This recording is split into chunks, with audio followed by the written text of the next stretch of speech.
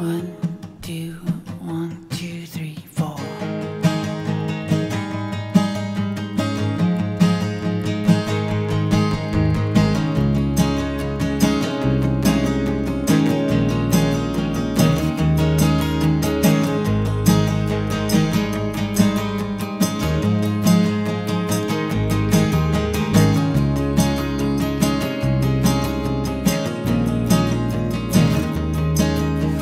I've got a grandson, he just turned 11 he's hell on wheels, that's what his teacher says. Cause he can't sit still, he won't shut up and he's beating up all the other kids. And somebody call him spirited or just a really, really, really, really high strung kid. But at least he's an enthusiastic and somewhat spastic child. And what's the fuss? What's the big rush? We all grow up. What I wouldn't give for half his energy, for half his energy, for half his energy. What I wouldn't give for half his energy, half his energy, for half his energy. What I wouldn't give for half his energy, for half his energy, for half his energy. What I wouldn't give for half his energy, for half his energy.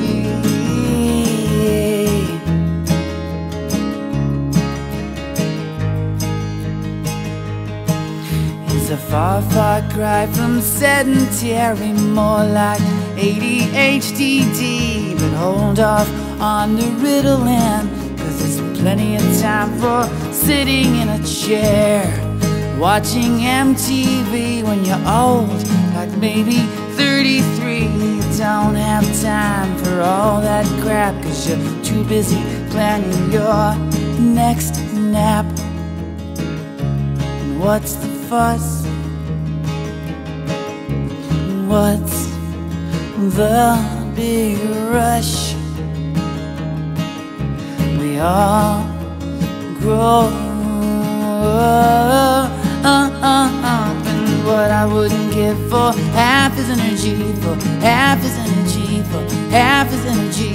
and What I wouldn't give for half his energy, for half his energy, half his energy. And what I wouldn't give for half his energy, for half his energy, for half his energy.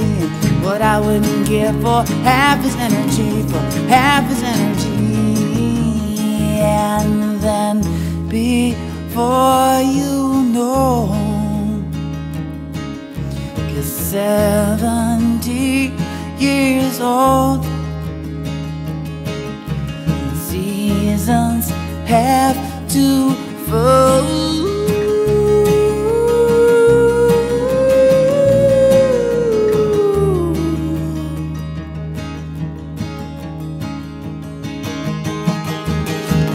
Just driven and that's okay. So were Einstein and MLK It's a whole lot better than lethargy Or catatonic pill popping apathy. And what I wouldn't give for half his energy For half his energy, for half his energy. And what I wouldn't give for half his energy For half his energy, for half his energy what I wouldn't give for. Half his energy For half his energy, for half his energy. And what I would not give for half his energy For half his energy, for half his energy. And what I would not give, and what I would not give What I would not give for half his energy For half his energy, for half his energy